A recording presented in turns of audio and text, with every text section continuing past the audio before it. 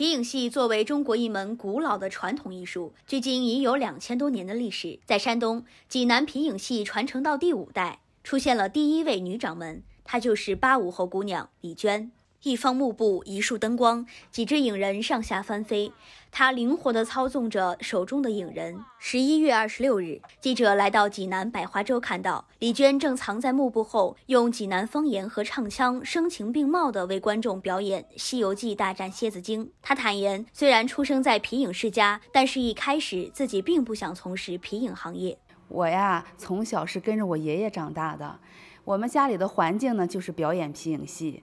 我爷爷对我的要求呀，也是平常呢要多练习这个皮影的操作，包括绘画、雕刻，还有这个在舞台上表演的一些这个基本功。所以呢，耳濡目染的就学会皮影戏了。其实，在整个的呃，我对我人生的轨迹和规划中，并没有去传承皮影这一项。因为我爷爷的梦想呢，真的是想在他的有生之年看到济南皮影的一个新的发展。我首先呢要考虑到爷爷对我的养育之恩，我一心想帮着爷爷去把皮影去传承发展，所以我才呃会从给爷爷打下手开始，正儿八经走上了皮影的道路。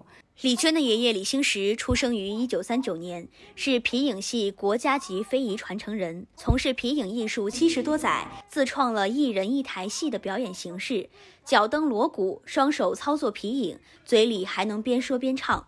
李兴石告诉记者，济南皮影发展到现在已有一百多年历史，在影人制作、灯光等方面与时俱进换新。我爷爷李克骜把皮影带到这个济南，我爷爷那时候。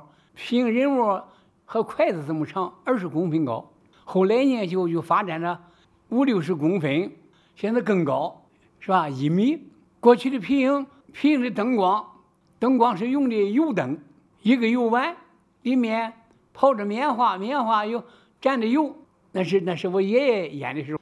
到了我父亲演的时候，就不用那个油油灯了，他用的么呢？麻灯，还有用用往往气灯。到了我演出的时候啊，我就用着灯泡演出。后来在发展的时候，就用着灯棍日日光灯。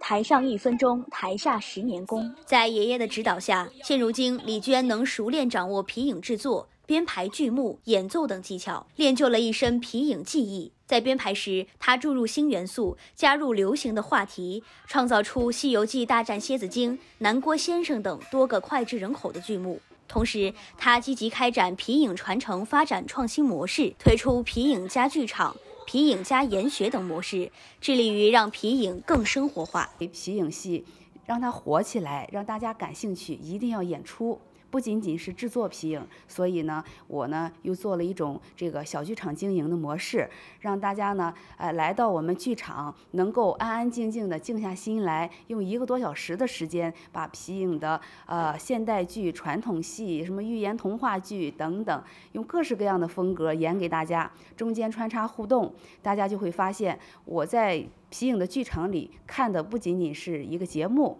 而是皮影文化。近年来，李娟组建了全部是由八零后、九零后女生组成的济南皮影女团，从事皮影设计、雕刻、研学等，取得很好的效果。我们济南皮影的发展不能仅仅靠我自己。我在教学的过程中啊，我会发现，这个有很多的年轻人愿意加入到我的团队里来，特别是女孩儿。本来呢，我又是一个女生，我一直都认为，呃，谁说女子不如男？有很多的年轻的女孩呢，加入到我的团队里来，也成立了中国唯一一支皮影女团。我真的一心想通过呃我这样一种开放式的皮影的教学，让大家呢也真正的去喜欢上皮影。三尺生绢做戏台，全凭十指逞诙谐。有时明月登窗下，一笑还从掌握来。年事已高的李兴时将传承济南皮影戏的重任传到孙女李娟手中，对此他信心十足。我从五六岁我就跟着俺父亲学皮影戏。我今年已经八十多岁了，我干了一辈子皮影，因为我爱皮影。现在济南皮影有了第五代传承人了，啊，我真是，真是希望这些年轻人把济南皮影传下去。对于爷爷的嘱托与期待，这位孝顺的女掌门人说自己将继续摸索传承皮影的新路径，争取扩大济南皮影戏的影响力。现如今，济南皮影传到我这一代呢，我呢认为济南皮影不仅仅是我们李家的，也不仅仅是济南的、山东的，更是我们中国最优秀的传统文化。所以我希望通过我们这一代的年轻人做。最创新型的文化传播者，真正的让我们的皮影戏呢走进千家万户。